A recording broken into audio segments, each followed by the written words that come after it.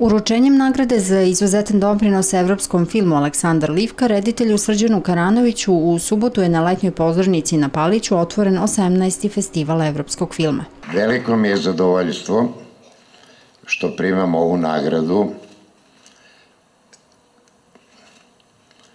i što se to događa u ovom gradu. Nagrada nosi ime Aleksandar Livke. Especially that it bears the name of Aleksandar Livka, osnivaču prvog pravog bioskopa u našim krajevima. the very founder of the first cinema in these in our country. Hvala i festivalu koji na ovaj način ume da se zahvali velikom pioniru naših filma. I also thank the festival because it knows how to honor a great pioneer of cinematography. Voleo bih i želeo kad bi na jednom od sledećih festivala u Subotici imali novi, pravi električni bioskop koji bi nosio ime Aleksandra Livke.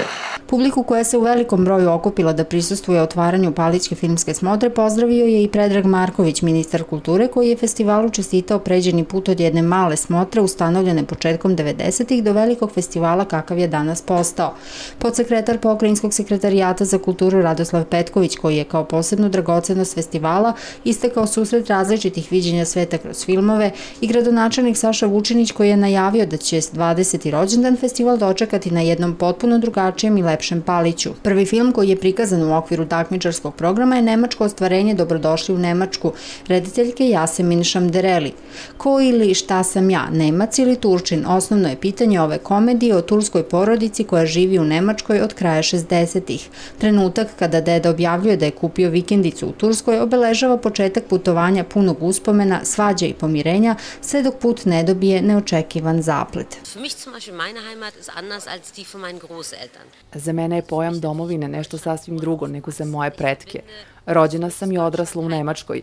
Za mene je Nemačka domovina. Ali postoji deo Turske koji je u meni. Apsolutno osjećam tursku kulturu. Turska je takođe moja domovina. Imala sam 5-6 godina kada su mi ljudi počeli govoriti kako odlično govorim nemački. Tada sam shvatila, pa ja sam stranac. Dass ich ein Ausländer bin. Also, dass zum Beispiel Türken eigentlich in der Türkei leben.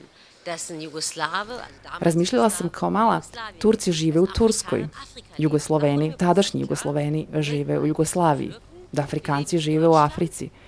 I to mi nije bilo jasno. Mi smo Turci, a živimo u Nemačkoj. I pitala sam svoje roditelje, a kako to? I onda su mi roditelji počeli pričati priču, istu onu, kao što je u filmu. Die haben angefangen zu erzählen, eben wie im Film, ähnlich wie im Film halt.